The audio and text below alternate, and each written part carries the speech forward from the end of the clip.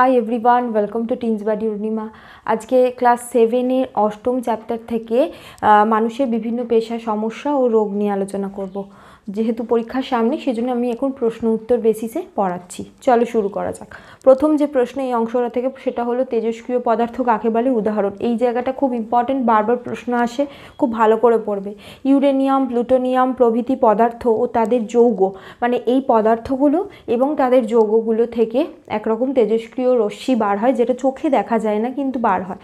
এবার এই যে রশ্মিগুলো কিন্তু আমাদের শরীরে যদি এসে পড়ে, বিভিন্ন ক্ষতি করে, কোষ নষ্ট করে দেয় ইভেন ক্যান্সার অবধি হতে পারে, এদেরকে তেজস্ক্রিয় পদার্থ বলে, ঠিক আছে? সেই জন্য এই পদার্থগুলো যখন রাখা হয় জিঙ্কের মধ্যে রাখা হয়, যাতে তেজস্ক্রিয়তা সেই বক্স থেকে বাইরে না যায়, ঠিক আছে? এক্স রশ্মি কী কী ক্ষতি করে? দেখো এক্স রশ্মি দিয়ে তো আমাদের যখন ধরো তোমার এক্স রে হয়, তখন কি করা হয়? যে এক্স রশ্মিকেই ব্যবহার করা হয়, কিন্তু তার জন্য তোমাদের যদি কারও হয়ে থাকে, তোমরা জানো যে যে জায়গায় ধরো চেস্টের এক্স রে হচ্ছে, সেক্ষেত্রে চেস্ট বাদ দিয়ে বাকি অংশটা কিন্তু ওরা একটা মোটা কিছু কভার দিয়ে ঢেকে দেয়। তার মানে যে জায়গাটায় এই রশ্মি লাগবে, সেই জায়গাটা ব্যতীত অন্য কোনো কোষে যাতে অতিরিক্ত এক্স রে না লাগে, সেই জন্য প্রোটেকশন দেওয়া হয়। এবার এক্স রে কিন্তু একবার বা দুবারে খুব ক্ষতি করে না। কিন্তু যদি বারবার করা হয় ফ্রিকোয়েন্টলি করা হয়, তাদের ক্ষেত্রে ক্ষতি করে। বিশেষ করে এক্স রে যারা করে, যে সমস্ত টেকনিশিয়ান আছেন, তাদের ক্ষেত্রে এই এক্স রশ্মি কিন্তু অনেক বেশি ক্ষতিকারক। সেজন্য তাদের সেই প্রোটেকশন নেওয়া নিতে হয়। এক্স রশ্মি বারবার কোষের সংস্পর্শে যদি আসে, কোষের স্বাভাবিক ক্রিয়া নষ্ট হয়, এমনকি কোষটাও নষ্ট হয়ে যায়। তারপরে প্রশ্ন হলো, কায়িক শ্রম কম, কিন্তু মানসিক শ্রম বেশি, তাদের ক্ষেত্রে কি কি সমস্যা দেখা যায়? মানে যে সমস্ত পেশায় কায়িক শ্রম কম, মানসিক শ্রম বেশি, সে সমস্ত মানুষদের কি কি রোগ হতে পারে? বর্তমানে যেগুলো দেখা যাচ্ছে যে ডায়াবেটিস, উচ্চ রক্তচাপ, অ্যাথ্রোস্ক্লেরোসিস মানে হলো তোমার রক্ত যে শিরা, ধমনী এগুলোর মানে আকার কমে আসা, তার গায়ে ফ্যাটের লেয়ার জমে সেই ধমনীর ভিতর দিয়ে যে রক্ত প্রবাহ, সেইটা কমে আসে আসে।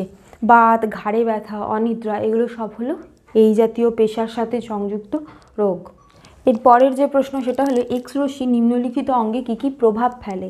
খাদ্যনালীতে কী প্রভাব ফেলে? ফুসফুসে অস্থিমজ্জায় খাদ্যনালীতে রক্তক্ষরণ ঘটায় বমিভাব হয়, ফুসফুসের জন্য শ্বাসকষ্ট হয়, আর অস্থিমজ্জাতে রক্তকোষ তৈরি হয় না। তারপর হলো, প্রাচীন মিশরীয়রা পোড়ামাটির বাসন অলঙ্কৃত করতে কোন ধাতুর ব্যবহার করতো? তামা।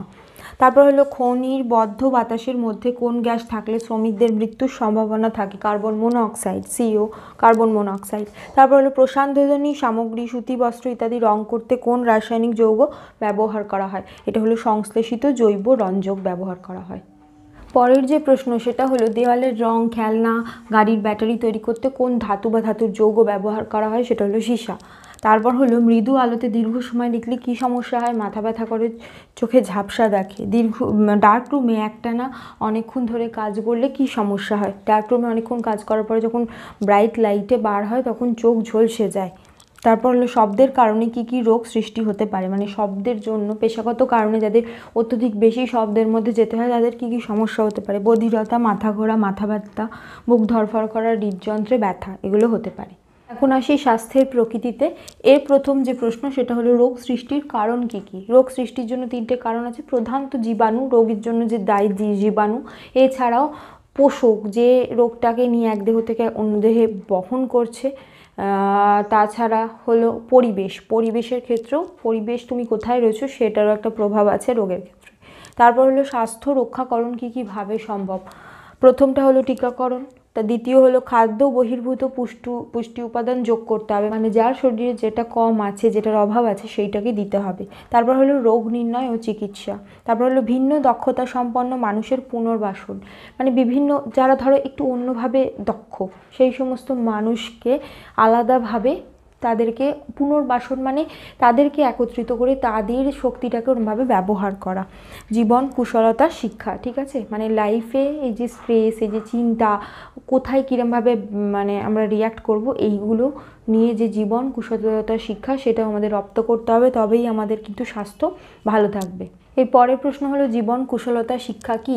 জীবনে চলার পথে বিভিন্ন সমস্যার মুখোমুখি হতে হয় তাকে মোকাবিলা করা?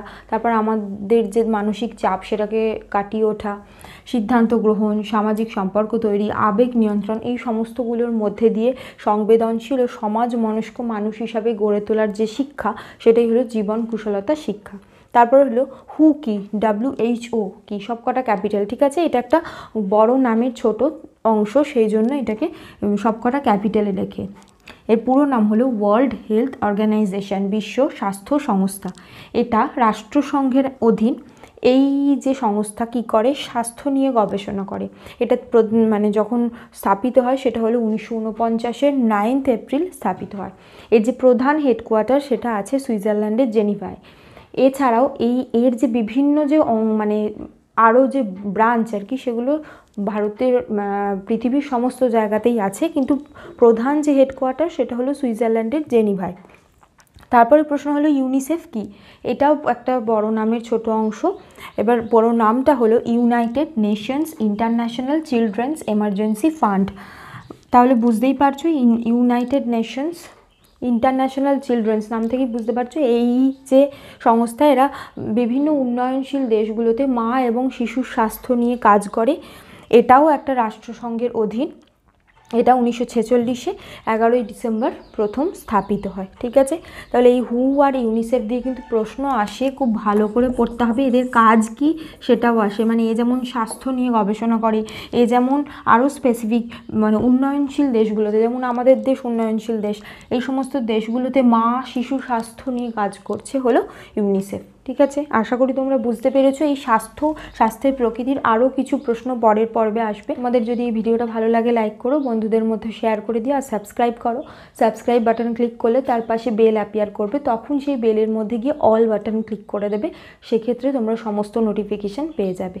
Thank you